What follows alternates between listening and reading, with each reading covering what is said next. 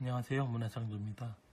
시스템 구축 방안 다섯 번째 개발 구축 방법론 및 활용 방안에서 개발 구축 방법론에 대해서 말씀드리겠습니다.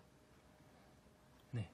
목표, 개요, 특징, 구성, 기대 효과, 개발 공정, 산출물 등 여러 가지로 설명을 합니다.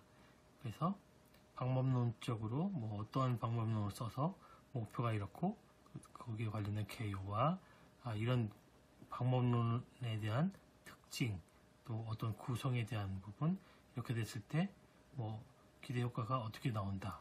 그럼 개발 공정은 어떻게 어떤 과정을 통해서 개발이 되고 그거의 개발을 통해서 나오는 산출물들은 어떠한 것들이 있다. 네, 이렇게 상세하게 기술하면은 더욱 좋겠습니다.